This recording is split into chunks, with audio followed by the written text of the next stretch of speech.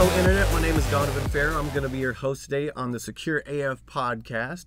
Thank you so much for joining us today. Uh, today, we're doing something a little different. Um, as the community may know, we'd recently finished uh, SecCon 2024.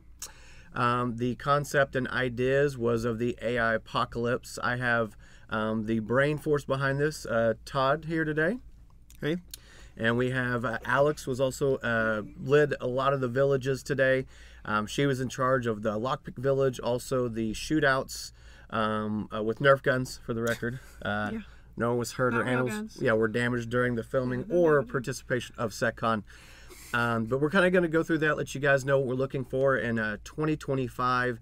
Um, definitely, if you guys have any recommendations, just see us around the, the community. Let us know. We're looking for that. And uh, out of the gate, want to thank all the sponsors for uh, putting this on. It was very successful. Um, and uh, I'll do one, still some of Todd's Thunder, one thing, and then I'm going to have him go through kind of how we came to this idea. Um, we only had we are going to do uh, only going to have 140 i believe and we got pushed multiple times up to a, over 170 uh, tickets sold. Um, and we had to stop because of fire marshal code and stuff like that but it was great. We had a great after party but want to give you the highlights different speakers what happened and what we kind of took away from it. So todd give us an idea on why you went this direction um, how do you think it impacted the community and if, if they i mean if, did they learn anything and if so what what do you think the best um, feedback you got. Sure. So, SecCon, Alias, we've always wanted to invest in the community, uh, the local community, and especially in educating and equipping people to actually do the job, welcoming students. We want them to, to be able to, you know, experience what the cyber community is like. And so we had a diverse representation of speakers. Um, you know, there were some of our staff, but also staff from other companies, people in education. We really wanted to give this fully orbed view of what the cyber community is and continue to build that. We picked AI Apocalypse because back when we were picking dates, we are like, hey, September, it's Friday, September the 13th. Cool. we should do something with that. AI is kind of a buzzword. We're like, you know what? That makes some fun graphics. So we went with AI Apocalypse. Um, got to do some fun things with the graphics and images, badges. That was just a lot of fun. Not all of our talks were AI focused. Donovan's keynote was sort of here's the reality of where AI is and where it's not, because there's a lot of hype Yep. and there's there's definite potential, but there's also just a lot that's not So, true. how did you come? Let's let's take a step back. Like, all well said, but like the design, like Yeah. How where did that come from? Did you have any AI guidance? Like, how did that? I mean, because they look they look pretty pretty scary. Little little haunted machine thingies. Yeah, so if we're going to do AI Apocalypse, why not use AI? So uh, most of the designs were either through Canva or Copilot is actually really great. Yep. And you just have fun with. Uh, we want a zombie robot, and you you do have to run through about 25 iterations before you get something that looks good. You get some really wrecked stuff, I have to say. So you did a lot of challenging questions. You Yeah. yeah. So like, I, people may not know what that is, and I think it's I think it's kind of cool. Like we use that as part to tie in to for the design, also as part of the the event. But like any challenging questions because I gave you something, then you're like, ah, maybe less bloody. I don't know. Like I don't know because there's some pretty wild stuff. Uh, Yeah, and I, I shared some of the wrecked images with with our folks through Teams. Um, one thing I found is just different platforms allow you to do different things. So, for example, in Canva, which is what we use for a lot of our design, you can't tell it to do something different with an existing image. You can say, "I like this," and generate more like this, and kind of work through iterations like that. yeah. But sometimes you hit a dead end and you have to go back to the start. Something like Copilot, it'll produce an image and you can say, "Cool, I really like that." Now do this with it.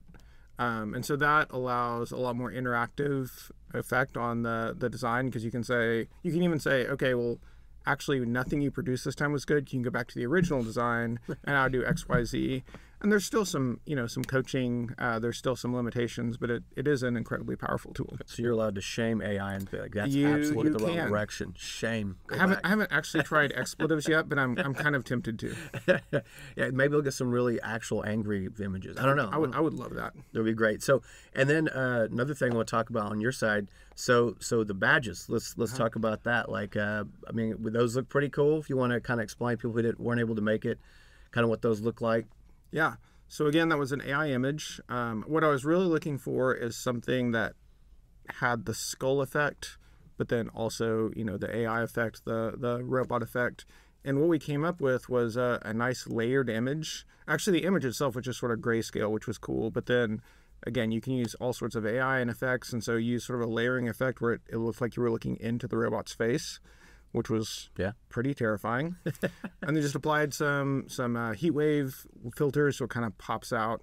And then we found a, a badge printer that um, you know do custom design, and then we really wanted glowing eyes, and that took a while to figure out. But uh, finally, we found like these little, I don't know, they're probably per unit, I don't know, five cent uh, bulbs. Yeah.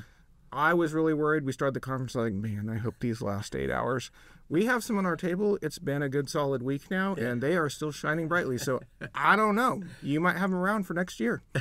That's great. Yeah, so the design of everything went really well.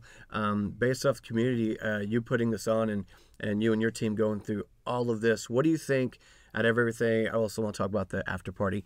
Um, what do you think was mostly, what was the best thing that stood out to you from your side um, that was good about the conference?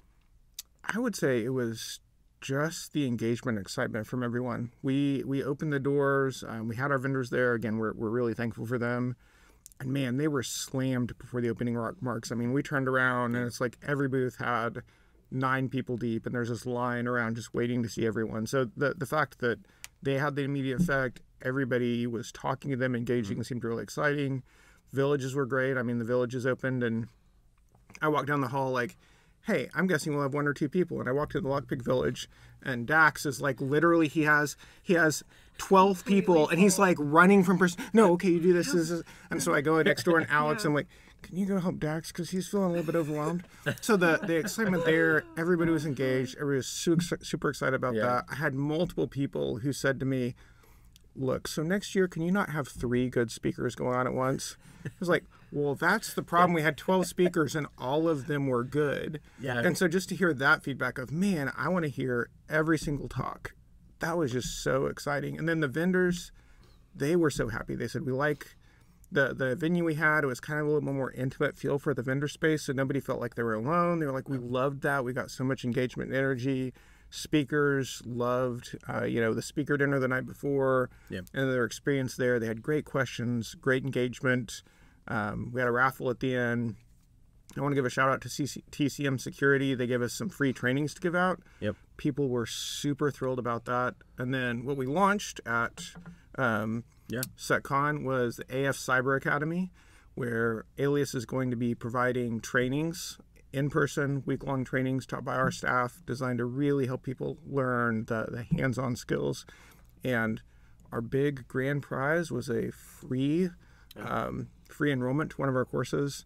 And it was so thrilling. Uh, a student from Triple C one, and she was just every picture we have of her is just beaming. She emailed smile. me and she's like, "I am so thrilled. I'm the first student." So that was really exciting. Yeah, and uh, we have what? Uh, can you cut just for the audience? What what uh, what we got? Four classes. Which ones are there? Yeah, so we're going to have a red team pen testing. So, you know, a lot of people want to get into that. It'll be what tools do you use? We'll spin up some machines. how Real pen testing, not not vulnerability assessment. Yes. Just so we're clear, scanning. It's real pen Yes, testing. it's not scanning. You're not going to be sitting there running a scanning. It's actually you're going to be using the tools um, that our guys use, figuring out how to get in when you get roadblocked. What do you do about that? Yep. We're going to have uh, blue team threat hunting. So, you know, you've got the offensive from the defensive. What do you do when you see a threat? How do you find threats? How do you mitigate those threats? Yeah. That'll include some, hey, if you're in a SOC, this is what this looks like. This is what you do. We're going to have IR and digital forensics because those go together. IR on the front end. What do you do when somebody's compromised? What does that look like? How do you work with machines? And the digital forensics. Okay, how do you figure out what happened? How they get in? And so the skill in that. And then the last one's going to be compliance and auditing. So you hear all the things you do, but really those all play into what are things that government, that uh, businesses are required to do, and how do you make sure you're doing that well? Yeah, that's what marketing's got it figured out. Did you hear that? Anyway, so as you know, if you guys are interested in that, um, uh, af uh, cyberacademy.com. So that's on the other side. But um, um, Alex, uh, newly hired, uh, made it through the internship. Congratulations. Thank you. Um, so tell us kind of what so you kind of manned a lot of the um, a lot of the uh, Nerf gun, the shootout. Yeah, yeah. So I went over Yeah. there. We had uh, like lock picking set up, how to learn how to do that, and then we had um, like physical door break-ins as well. And then we did our lockpick gunfights, which I love those. I think they're they're my favorite. I love trying to find people that have no idea how to lockpick and just kind of throw them in over there. Yeah. Um, but of course, everyone, you know, they're like, I don't know, I want to. But everyone just absolutely loved the lock picking. Like Todd said, it was just completely full. Um, we had people in there almost all the time, and we tried to get people to come into the door break-in room because it was right next door, Yeah. but like nobody wanted to come in there. But we did get some people towards the end, and people were actually making their own um, under the door tools, which were really cool. I saw a guy carrying one around, and I thought, did somebody flat out steal our under door tool? yeah, yeah, no, yeah, but we we brought all the wire and Yeah, stuff, yeah, and they okay. made them all. But yeah, it was really cool just to see everyone get super involved. I got to talk to a lot of students, um, which was really fun because you know I obviously just got done being a student thank goodness. Um, but it's it was just great to network with everyone and like you both have said like just the excitement like i've been to you know quite a few different conferences and you know like um, speaking events and and things like that. And this one really was different, at least for me. Like I have never seen as much excitement and people that really wanted to learn and and be a part of something. Uh, uh, you know, at, at this one was definitely the best. So it was it was a great time. Well, that, that's good to hear because I'm usually Todd and I running around just panic mode the whole time. Yeah, freaking just like what's happening. Oh my God, we're out of coffee. This is the worst. This is gonna be the worst conference ever. They did refill it pretty quick though. Yeah, Yeah, they did. yeah. Yeah, they did because great. this yeah, coffee has to be 100%. It's just got to keep that running. Going. Um, yeah, no, I think, um, and also I, I kind of made a joke about me. They're like, "When do you speak, Donovan?" I was like, "Oh man, I well, so here's the deal: is that way if no one wanted to come to my my speech, I locked you guys in with lunch. So in order you if you want food, you have to come and sit, uh, listen to me talk." But um, it was good. Um, I didn't get to get to a lot of talks, but shame on me. But I was also, you know, trying to make sure every You also had people chasing you Yeah. down because they have to get the stamp. yeah. Yeah, Yeah. yeah, we did have our passports. Yeah, the passport that was really cool too I, a lot of people like that if the audience may not know we had um the typical vendor cards where you go and you you put your stamp on each vendor whoever it is but on the back we had you meet five, okay you had to go talk or ask for a stamp from five different alias people we had black shirts on and you had to get the stamp but it also gave you an extra ticket for the raffle which i thought was really cool. And it, what it what we're trying to do is um, at the what we were really trying to do is because a lot of um, technical people this may sound weird you guys are really awkward um, and it it's, hard true. for you to break ice. So if you're like if you don't say anything because you don't know what to say to like me or todd you just put your little card out there and then todd and i will we'll get it kicked off for you. We'll break the ice get a little people out of their shell um, give them a little social um, experience in what we do and what the culture is of the uh, cybersecurity industry in oklahoma um, so that was that was a really great idea. We're gonna pro- we're definitely gonna do that next year. Um, Tanner made them answer a trivia question, oh, did he really? and then he ran away so they couldn't find him. Wow. He made that sounds himself. He so made himself typical. like the the I don't know where's Wald where's Tanner. they had to go find him. Yeah. I'm, no, I'm not shocked by that at all. Yeah. Makes total sense. Yeah. So again, my talk was kind of what what are we encountering encountering today? I can speak on mine. Was basically we have people that can get your voice and uh, it's, it? cyber kidnap. Basically, they call your parents and say that hey, I've been kidnapped, and the attacker gets on the phone, and people have fell for it. Um, one one lady, I don't know why she her daughter this happened to her, but her daughter was upstairs in her room. I don't know. I shouldn't go look, but you know, neither here nor there. But uh, No judgment. yeah, they talked about having you know uh, keywords to identify that it's you, whatever your passcode is for your parents or or or your, your spouse or whatever it is. So that was pretty interesting. And then the other one uh, was the transfer, uh, the video one um, of the uh, international company in Hong Kong where they were able to basically get people's face off a website because they had the sea level staff. It was an emergency tra- or secret transfer, which the guy was a little leery, but he was like, "Well, let's just jump on a call." So he called a video call, and he had board members around the table, and it was his face, but he was staring at him. He had the board around him, and that's how they were able to get that transferred. It was it was like twenty five million. Yeah, I think that's what we said. Like 25 million transfers. Yeah, absolutely crazy. So it, it does exist. I but I, you know, we, we have other talks about it. Um, it is, I think it is overplayed right now today until we have like Terminator robots, which you know that's kind of happening a little bit right now. But I mean, as a as a as a business risk, um, it, we go back to the social engineering. Yep. Again, like I feel like I feel like we got past this two years ago. We're back at it again. So social engineering's back on the menu. So Yeah. that's my favorite saying. and, and training your training your people like okay in that situation what would you do and running them through a simulation of hey i call and say you need to do a transfer what's Yeah. your play And then also, I've, I'll, I do know Kimmett's because we talked about it. Kimmett, um, you know, he's he's, he's policy guru. Um, Jonathan Kimmett, he's our uh, CISO here, and he uh, had he's it got certified in uh, like AI compliance on, and that's just like what exactly are you feeding this machine, and who has access to it? Because we've done a pen test where we were able to get a hold of a server that was hosting one, and we we asked if we could poison it and they said no but we were going to see if we could start getting it to spit out false information because people utilize that in a business. You may not know this.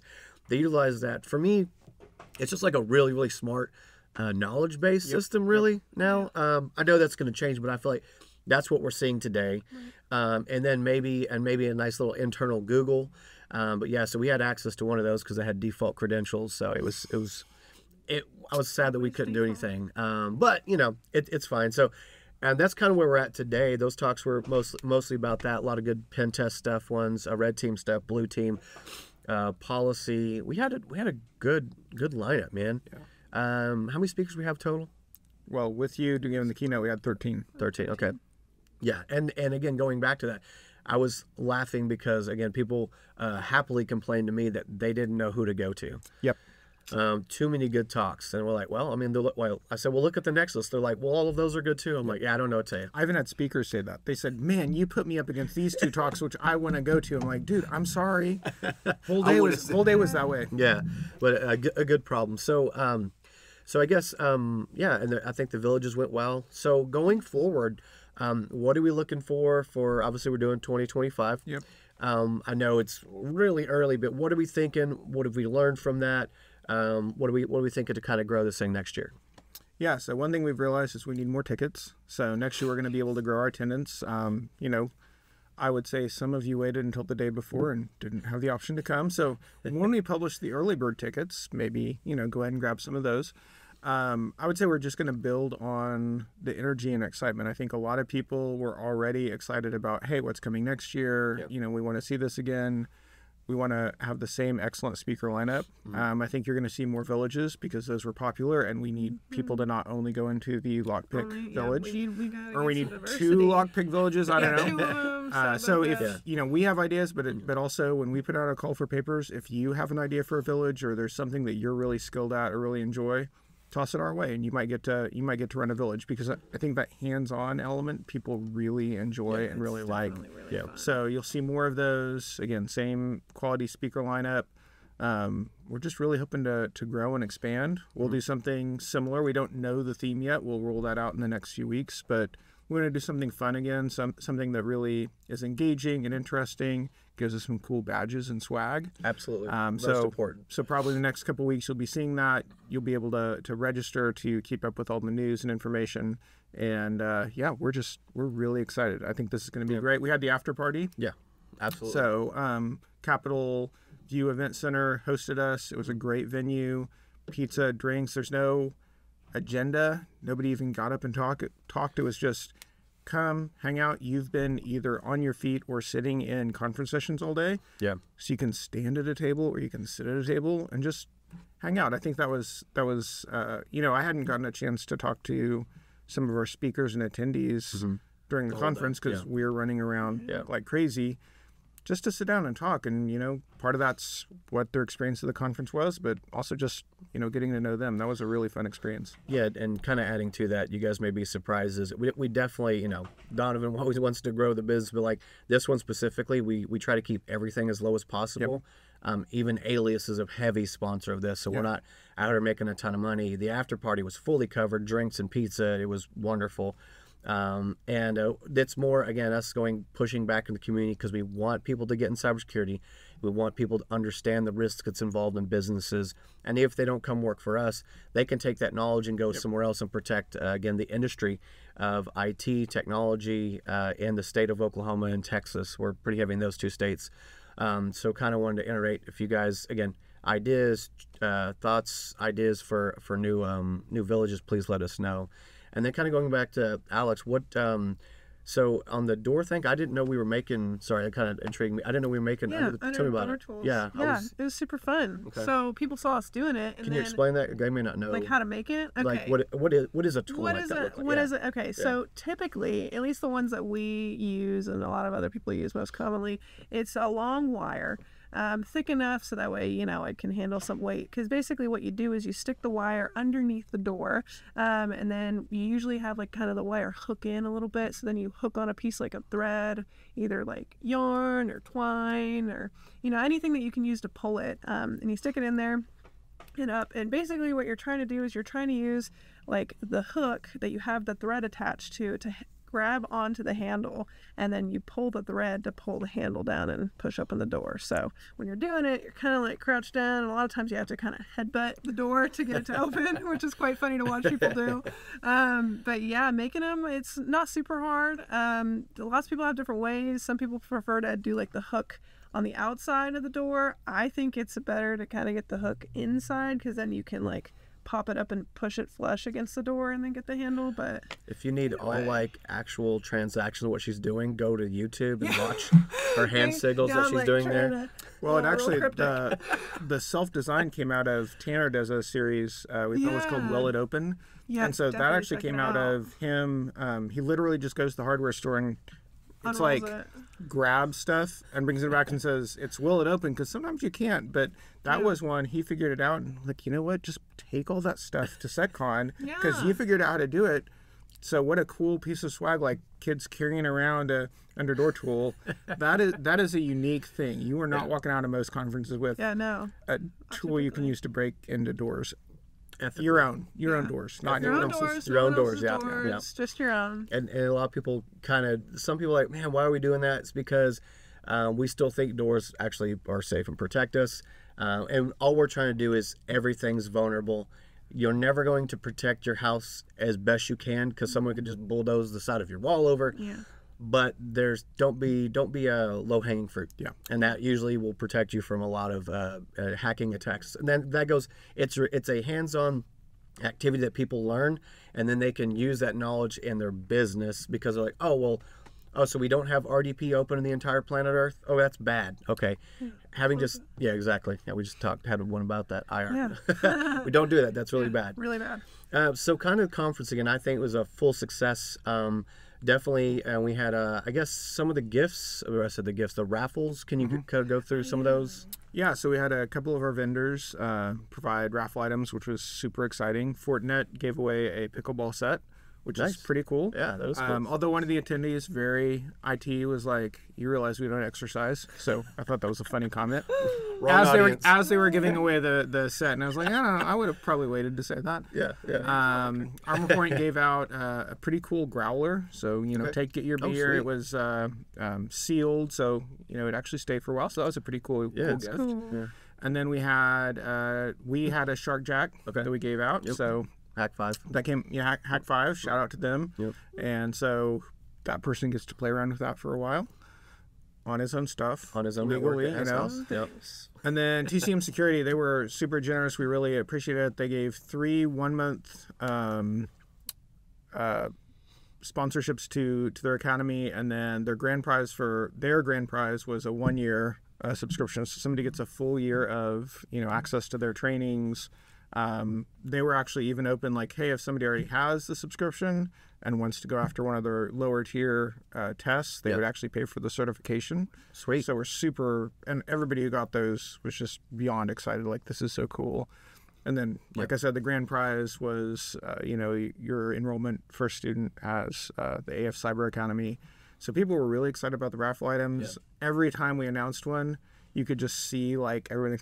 Man, that's Just and when we announced the uh, the AF Cyber Academy, like everybody sort of did this number. Yeah. And then when she won, there was, you know, we're all excited Yay. for her. Kinda. Clapping. Yeah, clapping. Ish. Yeah. Oh, Good job. I, I hate wish I you. had it. Yeah. So how many drinking pizza now? Because I lost. No. Yeah.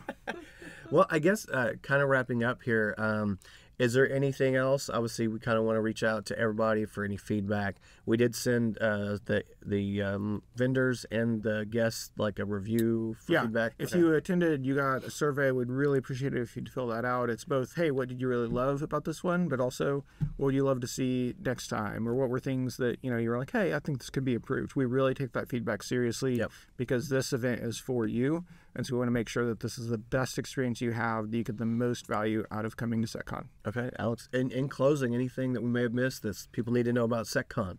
I don't think so. It was a great time. If you weren't there, you should have gotten your tickets because it was great. Definitely, listen her. definitely get those early bird tickets next time because you know you'll get to see all of us. and It'll be a great time. right. And you'll get to you know get your own under the door tool. Yeah, and now I'll say the last part, which I was super pumped. I don't. Again, I'm. I may seem like I'm really social, but I actually don't like talking to people. But it was good for me because people had to come and get the stamp, and some people are mm. like, "Man, I get to talk to Donovan," which I mm-hmm. have imposter syndrome. I don't really know what that means. I just work here. But the other people they got to talk to, because there's very intelligent people in our industry, um, they probably wouldn't have the courage to approach them. And I think it really made everyone feel welcome. And mm-hmm. typically conferences or whatever, you know, it's a it's an old IT stigma. People make people feel stupid or they ask stupid questions. That's not what we do at all. But Right. I think them knowing that and seeing that, I think it went a long way. So Yeah, I agree. Mm-hmm. Okay. Well, in closing, thank you so much for joining uh, a Secure AF podcast. Look forward to SecCon 2025. Thank you so much for watching, and y'all have a great afternoon or morning, internets. See ya.